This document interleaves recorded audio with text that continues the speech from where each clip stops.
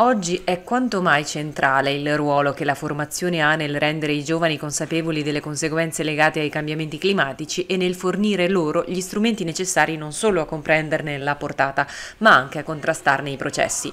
L'Istituto Calvi di Belluno, attraverso la rete internazionale UNESCO di cui fa parte, è stato selezionato tra dieci scuole in tutta Italia per partecipare ad un convegno tenutosi a Rocca Pietore in cui sono stati condivisi i dati di un progetto di monitoraggio dei ghiacciai.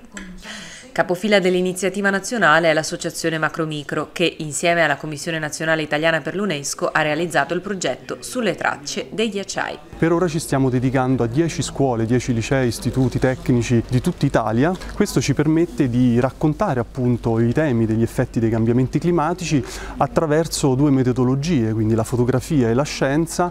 attraverso delle campagne, delle spedizioni con cui abbiamo prodotto delle fotografie di confronto e quindi uniamo l'aspetto estetico, emozionale della, delle, delle, fotografie, dei confronti fotografici dei ghiacciai come erano a fine Ottocento e come sono oggi per raccontare in maniera emozionale quelli che sono gli effetti dei cambiamenti e, le, le, soprattutto le trasformazioni del paesaggio a, soprattutto alle nuove generazioni.